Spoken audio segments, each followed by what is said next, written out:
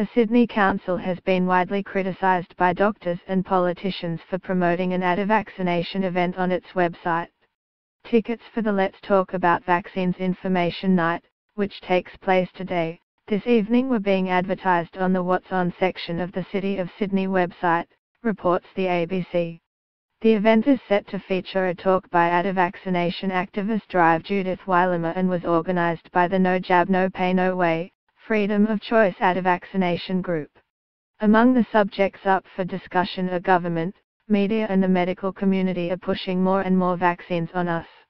Why? Dr. Wilyman has previously been criticized by medical professions after her research suggested the World Health Organization and the pharmaceutical industry were colluding to push vaccinations.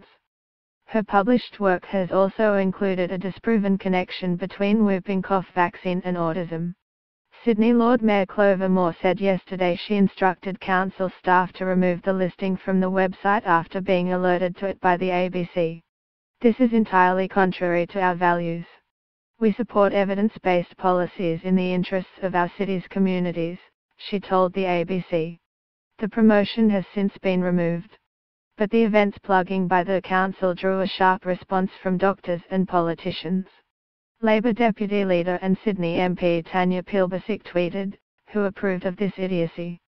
Rachel Dunlop, of the Faculty of Medicine and Research at Macquarie University in New South Wales, told the ABC the event was promoting scaremongering. The nonsense that will be spouted at this event is nothing more than scaremongering and misinformation wrapped up in conspiracy theories and designed to scare parents into not vaccinating their children, Drive Dunlop said. The inner city location for tonight's event will be disclosed three hours before it is due to start. Copyright 9 Digital Proprietary Limited 2017